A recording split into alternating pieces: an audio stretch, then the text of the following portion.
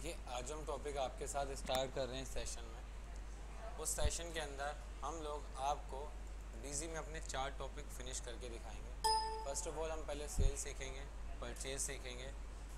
पहले परचेज फिर सेल फिर परचेज रिटर्न और फिर सेल रिटर्न के टॉपिक को अपने कवर करेंगे तो चलिए, हम धीरे धीरे अपने काम को स्टार्ट करते हैं। आज जो प्रोजेक्ट करना है, उसका नाम है इंटेक्स कंपनी तो हम आपके साथ इंटेक्स कंपनी के प्रोजेक्ट को डिस्कस करेंगे। और मैं इसे बड़ा कर लेता हूँ और पहले इसके नाम से कंपनी बनाता हूँ। सबसे पहले आपको एक अच्छा काम करना है तो सबसे पहले अपने नाम से एक फ़ोल्डर बना लीजिए, जो आप माई कंप्यूटर में जाके क्लिक कर दीजिए न्यू और यहाँ पर ऑलरेडी बना होता है आप लोगों का तो उसी के अंदर कंपनी बनाइए। मेरे केस में यहाँ बना देता हूँ मैं इंटेक्स कंपनी इंटेक्स कंपनी के बाद जाना सेट डाटा डायरेक्टरी पर। इस फोल्डर पर क्लिक करना और डी ड्राइव में हमने पाथ दे दिया इंटेक्स का। पहले ही देते हैं पाथ उसके बाद क्रिएट कंपनी पर जाना। और जो भी कंपनी आपको बनानी है, वो कंपनी बना लेंगे। हमारे केस में जो कंपनी बनेगी, वो थी इंटेक्स कंपनी तो आप यहाँ इंटेक्स कंपनी लिखेंगे। कोई डाउट आपको? नहीं, मैंने इसलिए बनाया ताकि मुझे पता रहे। आप जिस आपका जो नाम है, उसी के अंदर आप बना रहे इसके बाद कंपनी की जो बेसिक इन्फॉर्मेशन है, वो फिलअप करनी है आपको।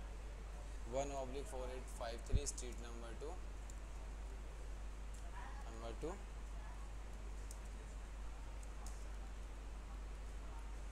है दिल्ली, बत्तीस। यहाँ पे आपका जो भी आईटी पैन कार्ड हो, वो डाल देंगे आप। वार्ड नंबर डाल देंगे आप।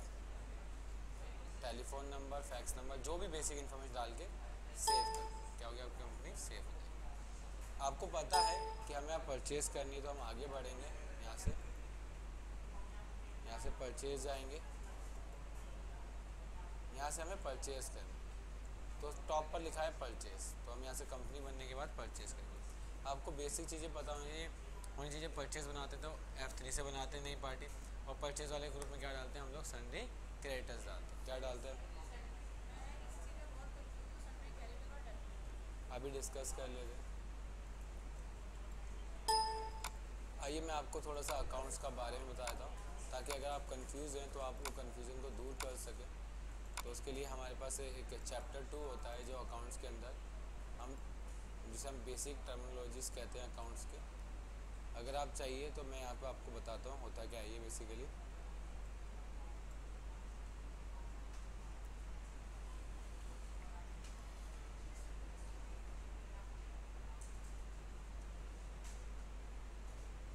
मैंने ये पूरा नोट्स इंग्लिश में, बस एक संडी डेप्टर्स और क्रेडिटर्स को मैंने हिंदी में लिखा है डेप्टर्स वो लोग होते हैं जिनको हमने बिज़नेस में उधार माल दिया है या बेचा है, उसे संडे डेप्टर्स कहते हैं। क्रेडिटर्स इसका अपोजिट होता है, जैसे ये रामलाल की कंपनी है, इस कंपनी में कोई पर्सन माल खरीदने आया है, उसे हम कह लेंगे डेप्टर्स क्या कहेंगे हम उसे?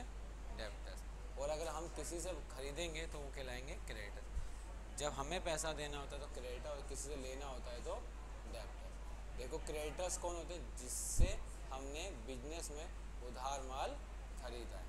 तो हम क्या कहते हैं? संडे क्रेडिटर्स और जिनको हमने बेचा उन्हें संडे डेप्टर्स कहते हैं। क्लियर है? ये कर लिया हमने। इसके बाद हम अपने टॉपिक को आगे चलेंगे।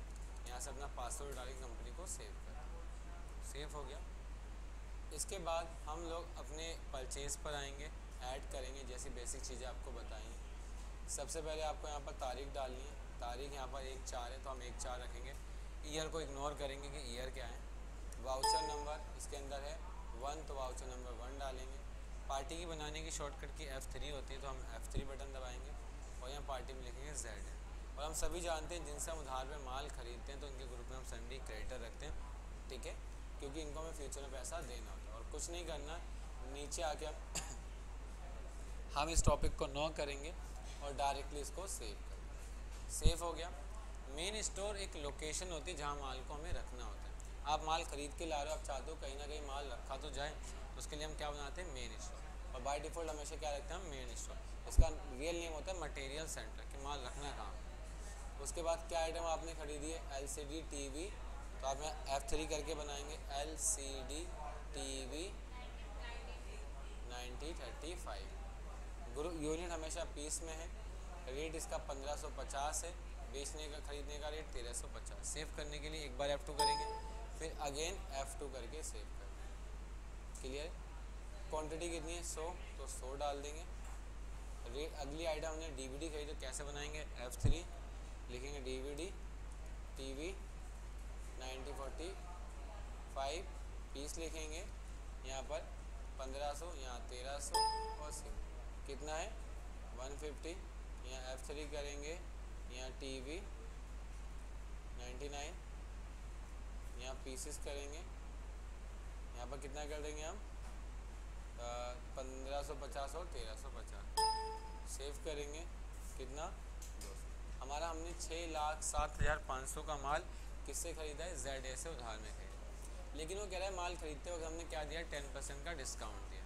मतलब उसने दिया तो आप नीचे आके यहाँ डिस्काउंट डाल दीजिए। तो अपने आप माइनस कर देंगे। क्लियर से क्या कर दें? सेव कर जैसे सेव करोगे, एक मैसेज आएगा, आपको याद होना चाहिए मैसेज कब आता है जब आपके बिल की वैल्यू दो लाख से ज़्यादा की अब इसे क्या कर दो? सेव इसके बाद दो नंबर का बिल है तो आप यहाँ दो तार, चार लिखोगे। वाउचर नंबर कितना है? दो तो यहाँ कितना लिखोगे? दो। पार्टी का नाम क्या है? वी ए तो क्या वी ए नाम की पार्टी है? नहीं तो क्या करोगे? एफ़ सी क्या ग्रुप में डाल दोगे? सन्डी क्रेडिटर्स मेंटेन वाला टॉपिक को क्या करोगे? No no. क्या करना है इसको? सेव सेव करने के लिए दो बार एफ़ टू यहाँ आइटम बनाओ कैसे? एफ़ थ्री क्या लिखा है? माउस विद विद वायर क्या रखोगे ग्रुप में? पीसीस कितना है? 550 450 और सी कितनी? 200 एफ़ थ्री यहाँ लिखोगे माउस ठीक है, यहाँ करोगे पीस यहाँ करोगे 550 450 से कितना? 200 फिर एफ़ थ्री यहाँ करोगे माउस विदाउट विदाउट वायर यहाँ पीस डालोगे 550 450 सेफ़ कितनी क्वांटिटी 20 अब नीचे क्या डालोगे? डिस्काउंट कितना है डिस्काउंट 10 तो 10 अपने आप सेव कर कोई प्रॉब्लम है इसमें आप लोगों को? तारीख तीन है या तीन लिखोगे? बाउचर नंबर तीन है तीन है पार्टी का नाम क्या है? वाई एम तो आप वाई एम डालो। ग्रुप में क्या रखोगे? संडे क्रेडिट मेंटेन टॉपिक को क्या करोगे? नो करोगे। सेव यहाँ क्या करोगे? C P with wire F three क्या नाम था? सी पी विद वायर ठीक है? यूनिट पीसीस पाँच हज़ार, चार हज़ार। से कितना? सौ पीस यहाँ सौ डालोगे। फिर एफ़ थ्री क्या आइटम थी? सी पी विदाउट वायर क्या लिखोगे? पीस पाँच हज़ार, चार हज़ार सेफ़ कितनी क्वांटिटी सौ piece F three C P new pieces पाँच हज़ार, चार हज़ार, सौ यहाँ क्या डाल दो? डिस्काउंट कितने परसेंट है? ट्वेंटी फाइव परसेंट और कॉम्प्लिकेटेड तो नहीं लग रहा आप लोगों को? इजी है ना? तो यहाँ पर इलेवन है, या इलेवन नंबर तो इलेवन डाल दो। ठीक है? पी ए पी ए नाम के लिए बनाने एफ़ थ्री ग्रुप में सन्डी क्रिएटर मेंटेन वाला टॉपिक नो और सेव क्या आइटम है यहाँ पर? यहाँ है मॉनिटर इंटेक्स कंपनी तो एफ़ थ्री करके बना लो। मॉनिटर इन टैक्स कंपनी क्या रहेगा? पीसीस क्या सेल प्राइस है?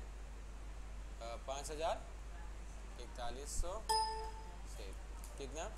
डेढ़ सौ एफ़ थ्री ठीक है monitor L G company pieces रहेगा। क्या रेट है? पाँच हज़ार, इकतालीस सौ सेव कर दोगे।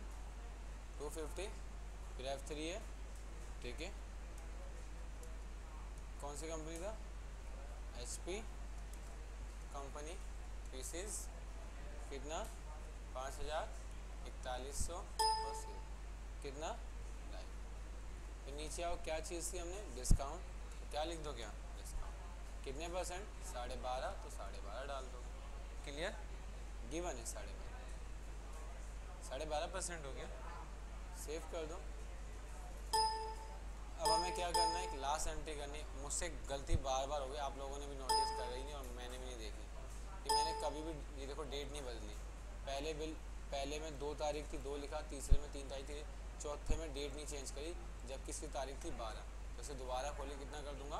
बारह। वैसे क्या कर दूँगा? सेव ये छोटी छोटी चीज़ें आपको देख के करना पड़ेगी। ठीक है? आ जाओ नेक्स्ट बिल की एंट्री कब है? पंद्रह। तो यहाँ कितना लिखो? पंद्रह। वाउचर नंबर कितना है? पंद्रह। पार्टी का नाम क्या है? एस ए तो कैसे बनाओगे? S A hold F three करोगे क्या लिखोगे ग्रुप में sundry creditors maintain bill topic को क्या करोगे आप? नो करोगे। उसको सेव कर दोगे एफ़ टू करके। यहाँ आइटम है आपकी यूपीएस तो एफ़ थ्री करो क्या लिखोगे? यूपीएस वो भी इंटेक्स इंटेक्स कंपनी क्या रेट है? पाँच। रेट चार। कितनी क्वांटिटी है? फिर एफ़ थ्री करोगे? कितनी है? यूपीएस एलजी कंपनी पीस पाँच हज़ार, चार हज़ार, कितनी है? पच्चीस। फिर एफ़ थ्री है monitor Intex PPS company PCs कितना? पैंतालीस सौ, उनतीस सौ, कितना है? पचास। फिर एफ़ थ्री कितना? U P S H P company ठीक है पीसीस पाँच हज़ार, चार हज़ार सी कितना? पचास। टेन परसेंट क्या देना है हमें? डिस्काउंट और क्या लगाना है? पाँच सौ रुपये का फ्रेड फ्रेड होता है माल आने का किराया। जब भी माल आता है तो रिक्शे वाले, लेबर वाले वो हमसे चार्ज देते हैं तो उसे क्या बोलते हैं हम लोग? फ्रेड चार्ज ये सेव करना, एक बार नीचे आओ, फिर एफ़ टू करो, ऐसे क्या कर दो? सेव करो. क्या हो गया? सेव हो गया? कोई प्रॉब्लम अब हमने माल खरीद अगर हम इनकी इन्फॉर्मेशन चाहेंगे तो लिस्ट में आ जाएँगे और यहाँ पर अपनी सारी एंट्रियाँ देख सकते हैं. लेकिन क्या हुआ? जब हमने इनसे काम करा तो कुछ पार्टियों का माल ख़राब था सैंपल के अकॉर्डिंग नहीं था, अब हमें इनको माल को क्या करना है? रिटर्न करना है. तो उसे क्या कहते हैं हम लोग? परचेज रिटर्न परचेज रिटर्न के लिए आप कहाँ जाओगे? परचेज रिटर्न में आओगे. यहाँ तारीख डालोगे, क्या तारीख है? बीस तो यहाँ बीस लिखोगे। पार्टी का नाम क्या है जिससे आप वापसी कर रहे हो? तो आप यहाँ पार्टी का नाम डालोगे। एक बार अपने माइंड में सेट करें ना, परचेज रिटर्न और सेल रिटर्न में ना तो आइटम बनाते, ना ही पार्टी बनाते। क्योंकि हमने उस पार्टी को माल बेचा होगा तो वो वापस देगा किराए वाउचर नंबर क्या है? तो आपने पहले किस नंबर से बेचा था? खरीदा था, पंद्रह? तो जैसे ही डालोगे, तारीख बताएगा, तुमने माल कब खरीदा था? पंद्रह तारीख। फिर क्या आइटम वापसी करनी है? मॉनिटर पीपीएस कंपनी और जब भी आइटम का नाम लिखना शॉर्ट तरीके से लिखना। जैसे यहाँ क्या है? मॉनिटर पीपीएस तो पीपीएस लिख दो, वो अपने आप ले लेगा। पूरा लिखने की ज़रूरत नहीं है। पाँच पीस यहाँ क्या है? U P S H P company तो यहाँ यू पी एस लिख दो एच पी कंपनी कितना? पाँच पीस क्लियर काम खत्म हो गया। क्या करना है? सेव तो एफ़ टू और एफ़ टू करके सेव कर दो। क्लियर ऐसी बाईस तारीख का है। क्या नाम है? पी ए तो पी ए डाल दो। कितना? ग्यारह नंबर। क्या वापसी कर रहे हो उसे? मोनीटर इंटेक्स कंपनी कितनी पीस वापसी है? पच्चीस पीस फिर क्या है? मोनीटर एलजी कंपनी तो आप यहाँ मोनीटर एल जी कंपनी डाल दोगे। कितना? दस पीस तो यहाँ क्या है? मोनीटर एच पी कंपनी कितना? नौ पीस पैसा सर दो से क्लियर? सारी हो जाएगी? क्या? क्योंकि हमने पहले परचेज किया था फिर किया था। कोई दिक्कत? परचेज रिटर्न हो जाएगी। सेम ऐसे सेल रिटर्न होती हैं। आइए, अगर सेल की एंट्री एक आध करवानी तो मैं वो भी करवा देता हूँ, ताकि आप परेशान ना हो। सेल की एंट्री करनी है तो कहाँ जाओगे? सेल में आओगे। तारीख क्या है? बीस तो यहाँ बीस रखोगे। वाउचर नंबर ऑटोमेटिक रहेगा। वाउचर नंबर आपको चेंज नहीं करना है। यहाँ जो भी हो आप इग्नोर करना हमेशा वाउचर नंबर क्या रहेगा? ऑटोमेटिक क्योंकि आ, इनका बिल नंबर अलग होगा आपका बिल मैं दस लोगों से माल खरीदता हूँ ना। तो दसों का अलग होगा ना। और सेल में तो मैं माल बेच रहा हूँ तो मेरे हिसाब चलेगा ना सिक्योर तो इसलिए ऐसा। बिल्कुल डालना पड़ेगा। पार्टी का नाम क्या है? ए डी कैसे बनाएँगे हम बिज़ी में? एफ़ थ्री करके। क्या कर दो? F three A D group में क्या डाल देना?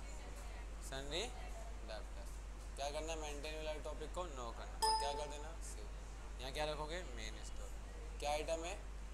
सी डी सत्तर पीस अब क्या आइटम है?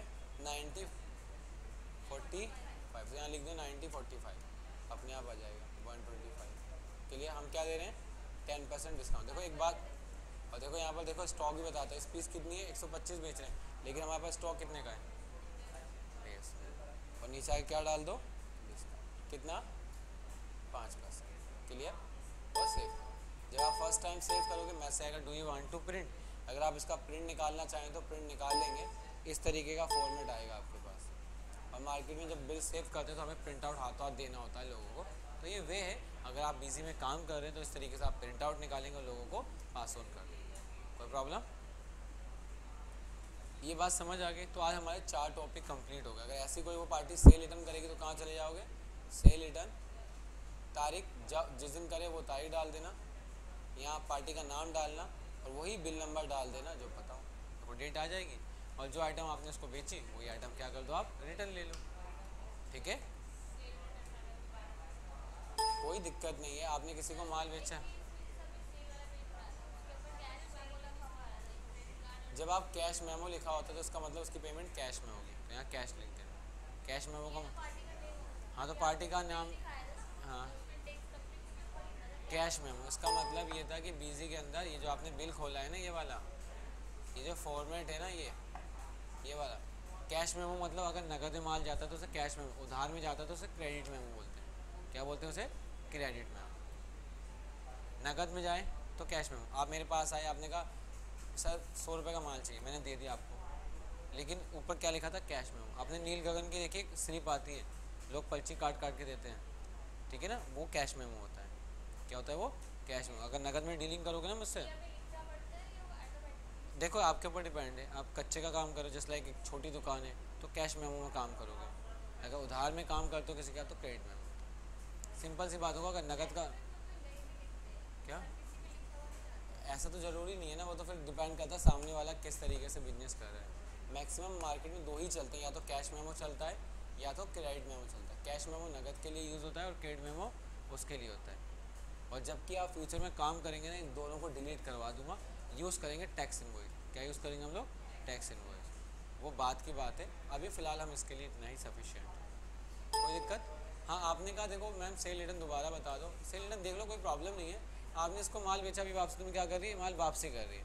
मैंने आपको माल दिया, आप, मुझे आप माल वापसी कर रहे हो। कुछ भी रीज़न हो सकता है। या तो सैंपल के अकॉर्डिंग नहीं था ये?